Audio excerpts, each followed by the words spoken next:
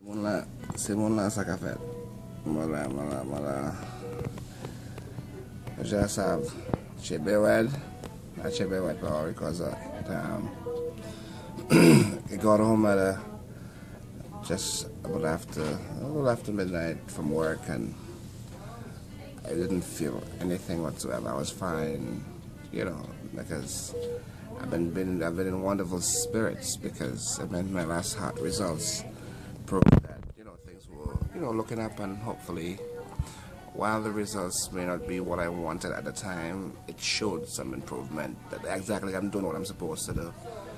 So I mean, I never take anything for granted at this point. So I went to bed and I mean at three o'clock I woke up and I just felt like I could not breathe. I felt this tightening on my chest. Oh my God, I had never felt this before. I thought I was like getting a heart attack. So now I'm waiting for the results to see what's going on. Um, it was it was scary, very scary, very very scary. I mean, I'm not afraid to die at all. I'm not. It's just that, you know,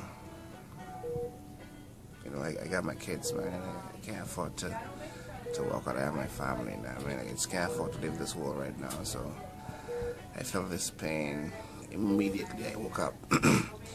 I didn't take a second, get some clothes on, and just rode straight to the ER. So I'm here and just just waiting.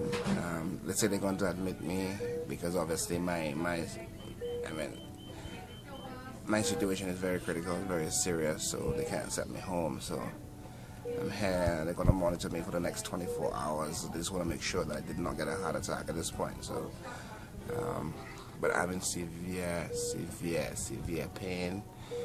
Um, I feel like I can't breathe, and for me to, to, to, get a relief from the pain, like I have to like deep, take deep breaths, and that's just what it is. So, but you know what?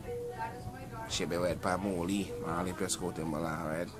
I'm gonna hit you guys up later, right? Just just trying to go for the motions right now. I can't really talk for too long, but um, thanks for all the kind words and everything else. But I'll be fine. All right, I got this. I got this.